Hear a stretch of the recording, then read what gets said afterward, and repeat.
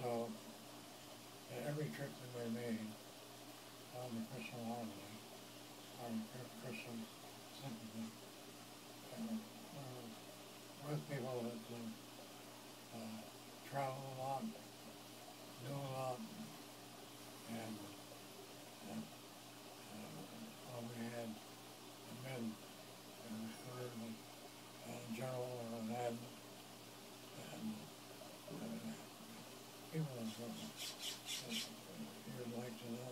Yeah. And were very fun people to be with. Although most people are afraid of them because they retired animals or retired something. These people really appreciate people that uh, uh, don't uh, go gaga or I do is General so-and-so or or Admiral so-and-so. Is plain ordinary people. Sure. And they don't want to be treated any different.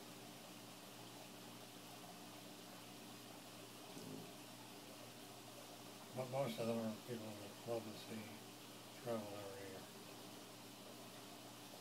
Well, it's a great way to do travel because you just unpack once and you keep on going and you can enjoy all the different ports of call. Well, you get to meet people who are, very interesting, who are very uh, uh, mature travelers, uh, have been on trips every year, and, uh, so these are people that, that look at travel as a um, an experience. And they're not trying to impress you with anything. They're trying to and um, act like they whole lives travel there and travel there. They, they, they don't talk that way. You probably very soon find out if they travel any place. Or if they even know what they're talking about.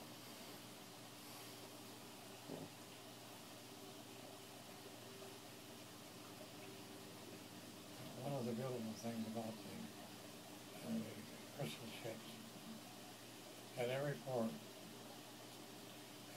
the members uh, invite you to their home to see the, the area on the cemetery of someone who lives there. Hmm.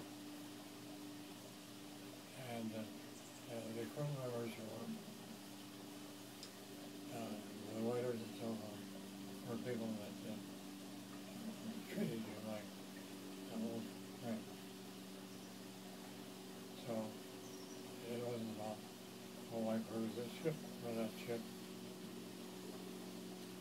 It's just like a bunch of group of people that have that type of life, want it and live it. So when we were not on the ship, we were living near the ocean. So every, every place that we lived, every home that we bought Hmm. By the ocean.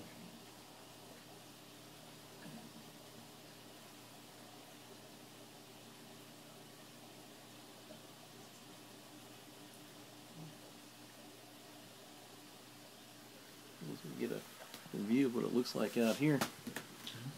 I was just gonna do a little video clip of what she got out here and got the deck. And you come out over. Well, thumbs. Mm-hmm. You know, iron.